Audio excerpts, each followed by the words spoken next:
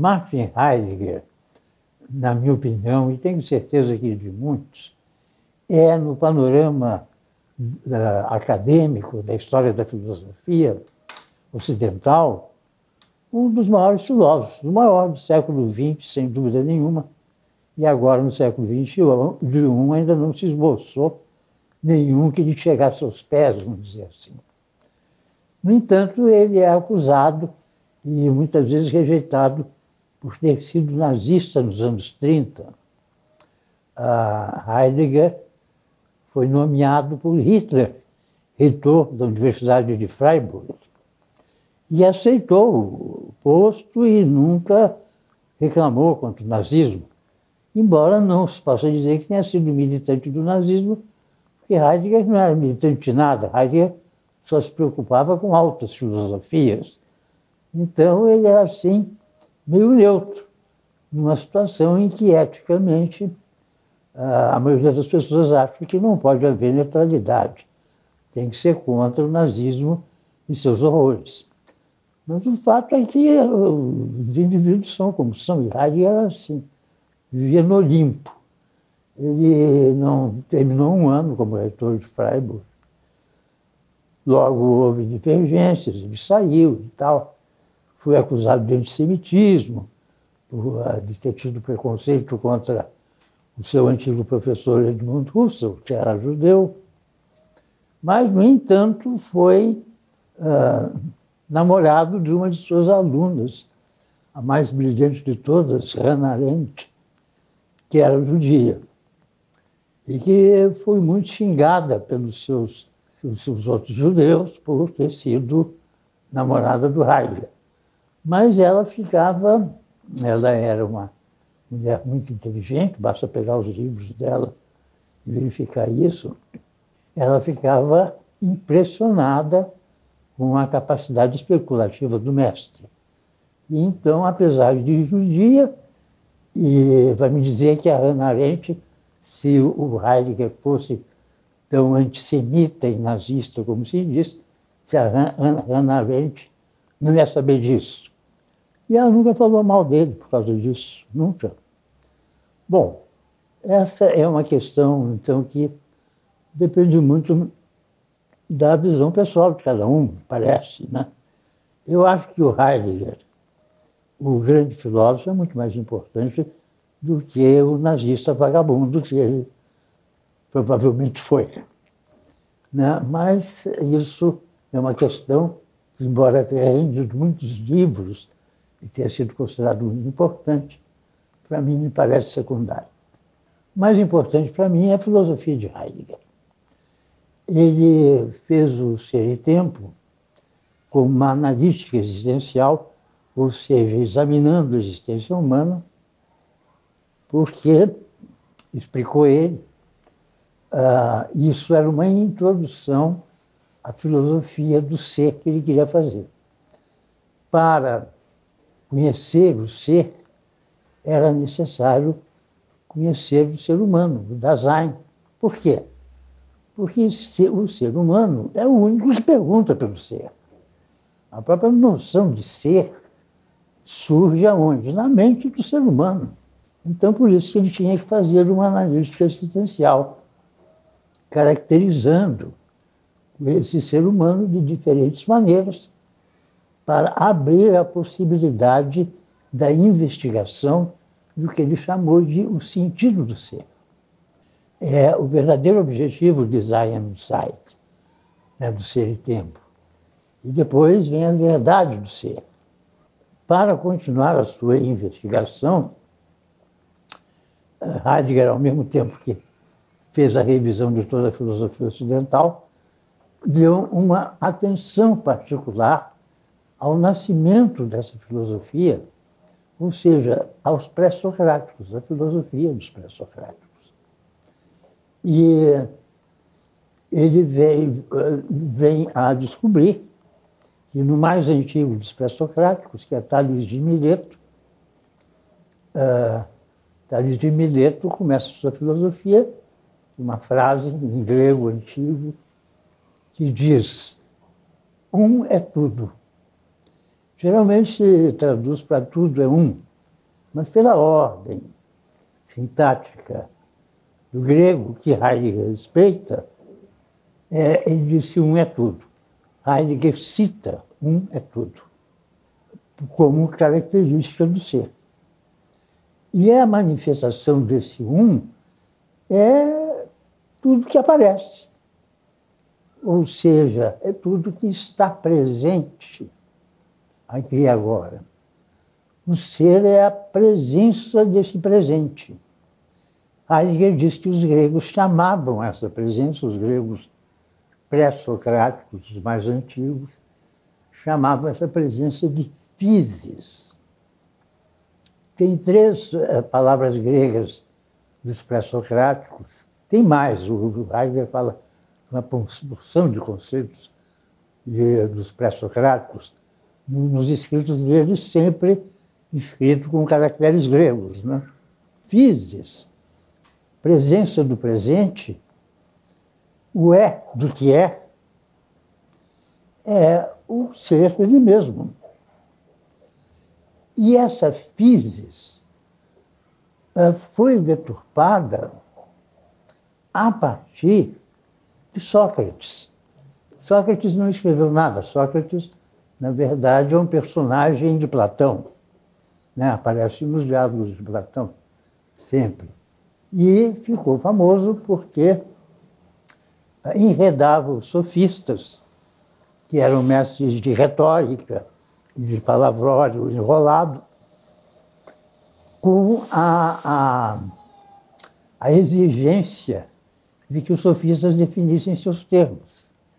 Não, o sofista falava assim, defina isso, defina aquilo. Filme americano tem essa piada, o americano tem essa piada, né? Qualquer coisa que você fala, assim, defina, eu estou com saudade, defina a saudade. Né? Quem inventou isso foi o tal de Sócrates. Isso, para o Heidegger, foi o que atrasou o desenvolvimento do pensamento grego. Foi um encerramento de sintaxe dessa definição de, de que o Sócrates exigia. O, o, exemplo que o Heidegger mais gosta de dar é da, é definição do homem. Homem, defina homem. A definição constante é homem ou animal racional. Quer dizer, a definição aí, é, segundo a lógica que foi, que é a deturpação do logos, a lógica disse que a definição consta o gênero homem, gênero, animal, e a diferença específica, diferença específica, racional, homem animal racional. E Sartre, ou Sartre, melhor, Heidegger debocha da limitação dessa definição que não nos diz absolutamente o que é o homem. Para ele é o ser aí, a existência humana, cuja essência e a existência, a existência é outra coisa. E é, depois disso multiplicaram-se os dualismos, né?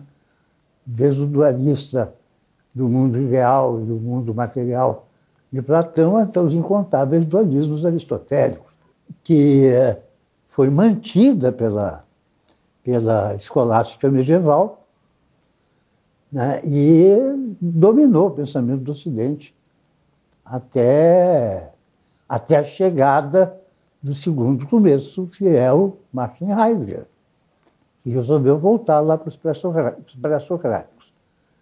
Então, physis não é apenas físico, como Aristóteles pensou, a natureza. Physis é tudo que, que tem presença. Logos não é apenas a lógica formal, né, a lógica menor que eu aprendi na escola. Logos é o sentido. Logos é, é mais parecido, Heidegger diz, com o tal chinês, que, é, que significa caminho. É o caminho. E uh, a letéia é o que acontece no caminho, que é o desvelar da verdade. Se há um desvelar da verdade, que é a aletheia, há também um velamento da verdade. Então, essa é a história do ser. A história do ser é a história do seu velamento e do seu desvelamento. Então, o conceito fundamental do, do Heidegger para criticar a filosofia existente é o de diferença ontológica. O que, é que significa a diferença ontológica? É a diferença entre o ente e o ser, e o próprio ser. O, o, o ente é o que aparece. O ser é a presença disso que aparece. Ou seja, é quem faz isso aparecer. É o ser ele mesmo. Quando a filosofia ocidental abandonou o objeto uh, e foi mais para o sujeito, o objeto passou a ser ocupação das ciências particulares.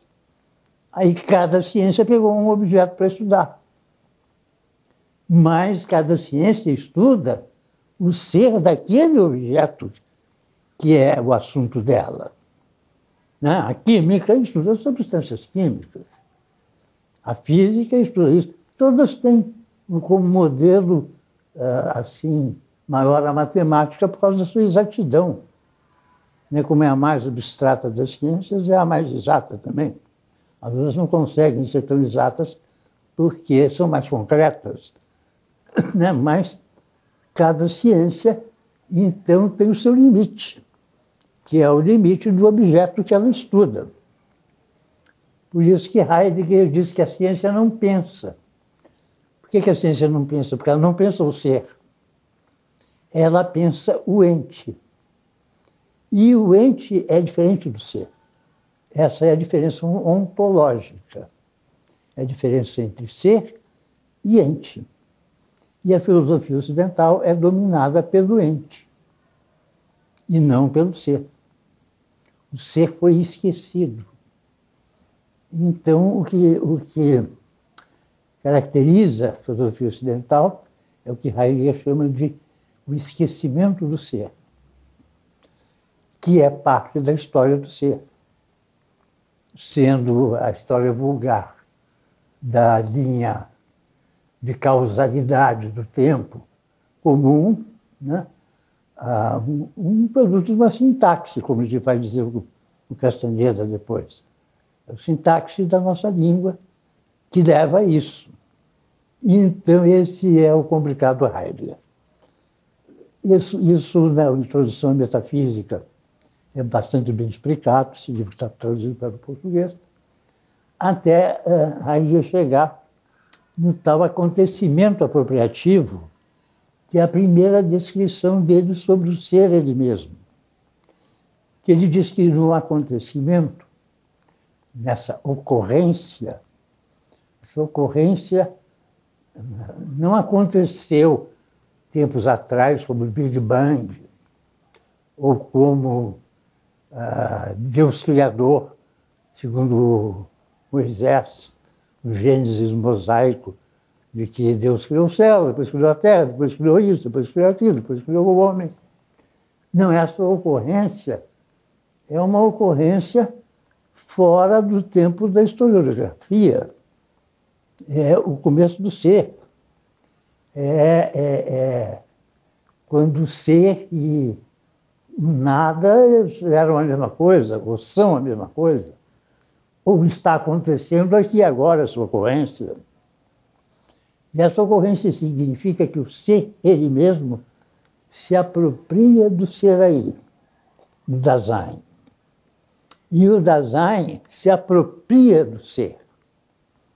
Então tudo existe porque há essa pertença mútua entre o ser ele mesmo e o ser aí.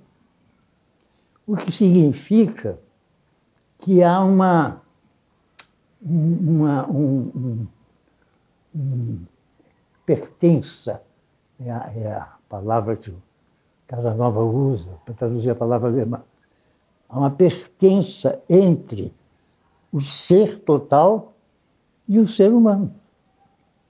Não há o ser total sem o ser humano. Não há o ser humano sem o ser total ele mesmo. Né? A pertença é mútua, a apropriação é mútua. mútua né? Um se apropria do outro. Esse é o tema do último livro de Heidegger, e que ele apresenta como o começo do segundo início da filosofia ocidental. Bom, não, Heidegger não é fácil. Para ver esses últimos livros dele, ó, eu não consigo. Não consigo. Eu leio cinco páginas e estou exausto. Só de tentar compreender o que ele está querendo dizer. Né? E ele achando graça, né? porque ele está escrevendo só para os raros, não é para gente comum feito eu. Eu tenho uma mania de ver se invento alguma coisa daquilo para ver se troca em miúdos. Né? Mas é uma tarefa, uma tarefa tremenda. Vamos continuar com outro pensador difícil, que é o Norman Oliver Brown, mas não tanto quanto Heidegger, um pouco mais simples, na nossa próxima, nosso próximo encontro.